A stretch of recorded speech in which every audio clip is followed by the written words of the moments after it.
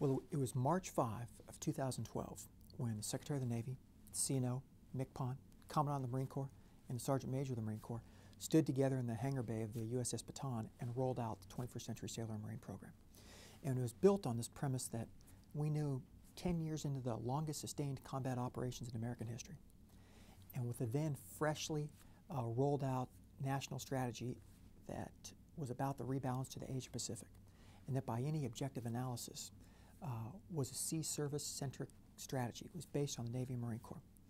We also knew that we'd be down one carrier when Enterprise retired, and we waited for the Ford class carrier to, uh, to come on board, to come um, into the force.